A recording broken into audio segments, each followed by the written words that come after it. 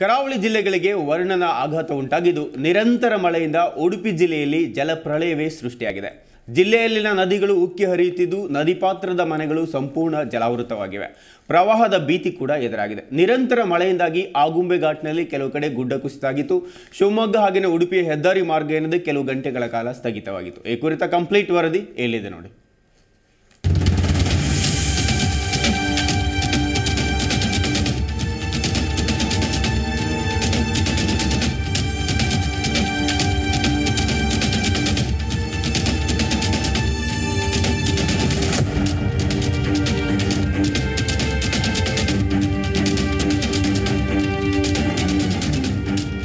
ಒಂದು ಕಡೆ ರಸ್ತೆಗೆ ಅಡ್ಡಲಾಗಿ ಬಿದ್ದಿರುವ ಬೃಹತ್ ಮರ, ಇನ್ನೊಂದು ಕಡೆ ಬೋರ್ಗರೆದು ಹರಿಯುತ್ತಿರುವ ನದಿಗಳು, ಮತ್ತೊಂದು ಕಡೆ ತೋಟ, ಗದ್ದೆ, ಮನೆಗಳು ಸಂಪೂರ್ಣವಾಗಿ ಜಲಾವೃತವಾಗಿರುವ ದೃಶ್ಯಗಳು.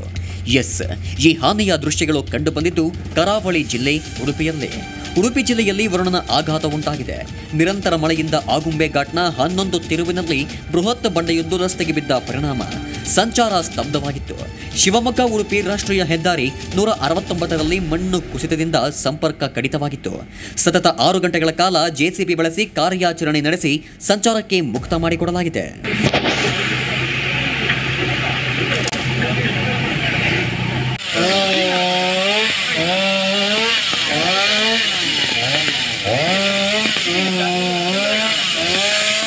ಮಲೆನಾಡು ಕರಾವಳಿ ಸಂಪರ್ಕ ಕಲ್ಪಿಸುವ ಆಗುಂಬೆ ಘಾಟಿನಲ್ಲಿ ಗುಡ್ಡ ಕುಸಿತವಾದ ಸ್ಥಳಕ್ಕೆ ಗೃಹ ಸಚಿವ ಆರಗ ಜ್ಞಾನೇಂದ್ರ ಭೇಟಿ ನೀಡಿ ಪರಿಶೀಲಿಸಿದರು.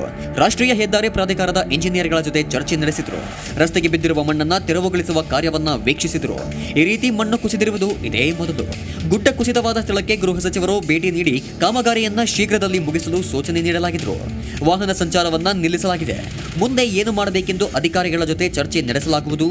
ರಸ್ತೆ ಅಗಲೀಕರಣದ ಸರ್ವೆ ನಡೆಸಲು ಐವತ್ತು ಲಕ್ಷ ರೂಪಾಯಿ ಬಿಡುಗಡೆಯಾಗಿದೆ. ಅಧಿಕಾರಿಗಳೊಂದಿಗೆ ಚರ್ಚೆ ನಡೆಸಿದ್ದು, ಎಷ್ಟು ಬೇಗ ಆಗುತ್ತದೆಯೋ ಅಷ್ಟು ಬೇಗ ರಸ್ತೆ ಸಂಚಾರಕ್ಕೆ ಅನುವು ಮಾಡಿಕೊಡಲು ಸೂಚಿಸಿರುವುದಾಗಿ ಗೃಹ ಸಚಿವರು ತಿಳಿಸಿದರು. ರಸ್ತೆಯಲ್ಲಿ ಯಾವುದೇ ವೆಹಿಕಲ್ಗಳು ಓಡಾಡೋ ಆಗಿಲ್ಲ ಬಂದ್, ನಿರ್ಬಂಧ ವಿಧಿಸಿದ್ದಾರೆ.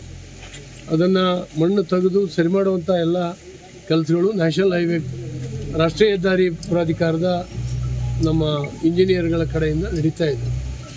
ಆದರೆ ಈ ಸಾರಿ ಇದು ಇಷ್ಟು ವರ್ಷದಲ್ಲೂ ಕೂಡ ಇದು ಈ ರೀತಿ ಲ್ಯಾಂಡ್ ಸ್ಲೈಡ್ ಆಗಿರಲಿಲ್ಲ ಫಸ್ಟ್ ಟೈಮ್ ಯಾವುದು ನಾವು ಕೂರ್ಗ್ನಲ್ಲಿ ಎಲ್ಲ ನೋಡ್ತಾ ಇದ್ವಿ, ಆ ರೀತಿಯಲ್ಲಿ ಆಗ್ತಾ ಇದೆ.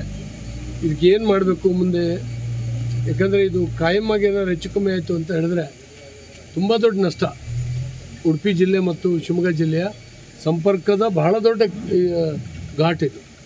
ಹಾಗಾಗಿ ಇದಕ್ಕೆ ಬೇರೆ ಏನು ಮಾಡ್ಬೋದು ಅಂತ ಕೂಡ ಮುಂದೆ ಯೋಚನೆ ಮಾಡಿ ಯೋಜನೆಯನ್ನು ತಯಾರಿಸಲಿಕ್ಕೆ ವ್ಯವಸ್ಥೆ ಆಗ್ತದೆ. ಐವತ್ತು ಲಕ್ಷ ರೂಪಾಯಿ ಇದನ್ನು ಸರ್ವೆ ಮಾಡಲಿಕ್ಕೆ ಈಗಾಗಲೇ ಸ್ಯಾಂಕ್ಷನ್ ಆಗಿದೆ ಸರ್ವೆ ಆಗಿ ಎಸ್ಟಿಮೇಟ್ ಆಗುತ್ತೆ.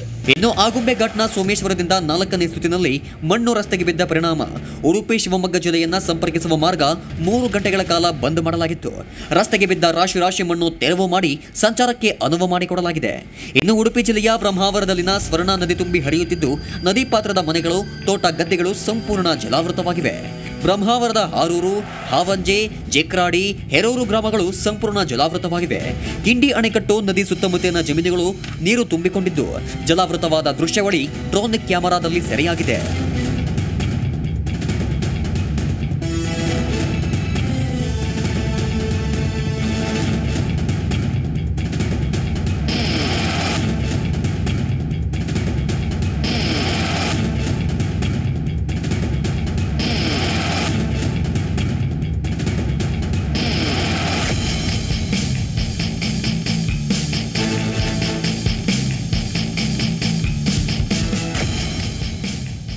ಇನ್ನು ಇತ್ತ ಕಾಪು ತಾಲೂಕಿನ ಪಡುಬಿದ್ರೆ ಗ್ರಾಮದ ಐದಾರು ಮನೆಗಳಿಗೆ ನೀರು ನುಗ್ಗಿದ್ದು ಜನರು ಪರದಾಡುತ್ತಿದ್ದಾರೆ.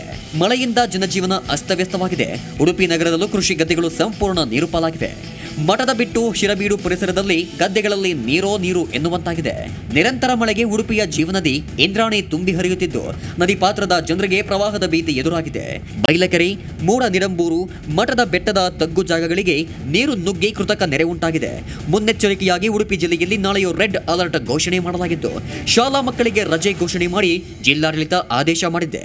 ಜಿಲ್ಲೆಯಲ್ಲಿ ರಾತ್ರಿ ಭಾರಿ ಮಳೆಯ ಮುನ್ಸೂಚನೆಯನ್ನ ಹವಾಮಾನ ಇಲಾಖೆ ನೀಡಿದೆ.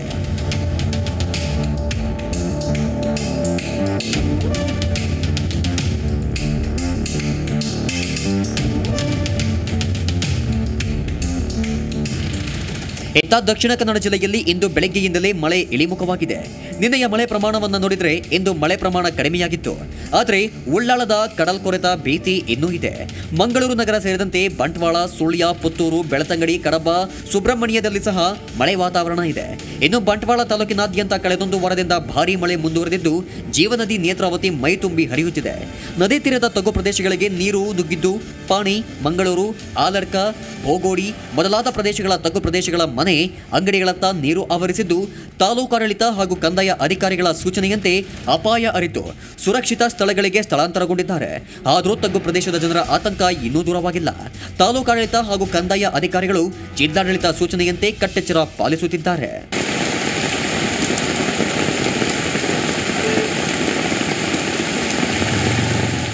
ಕಡಬ ಸಮೀಪದ ಕಾಣೆಯೂರು ಬೆತ್ತಡಕೆ ಬಳಿ ಕಾರೊಂದು ವೇಗವಾಗಿ ಬಂದು ಉಕ್ಕಿ ಹರಿಯುವ ನದಿಗೆ ಬಿದ್ದ ಘಟನೆ ನಡೆದಿತ್ತು.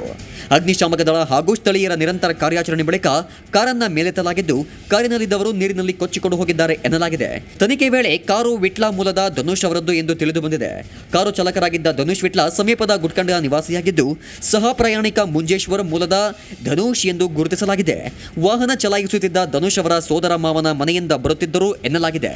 ಕಾಣೆಯಾದವರು ಇನ್ನೂ ಪತ್ತೆಯಾಗಿಲ್ಲ. ಶೋಧ ಕಾರ್ಯ ಮುಂದುವರೆದಿದೆ. Bureau report Zee Kannada news Bengaluru.